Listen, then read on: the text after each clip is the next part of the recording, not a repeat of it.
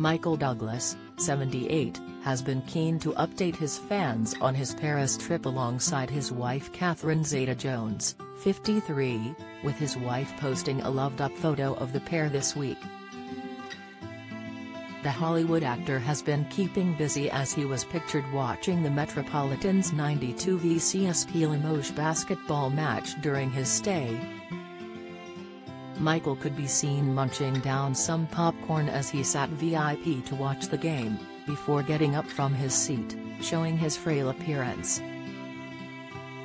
The Basic Instinct star continued to show off his hair transformation, as he let his auburn long tresses run free, highlighting his grey roots. Michael went casual for the event in a navy blue jacket, paired with a sweater and matching dark trousers.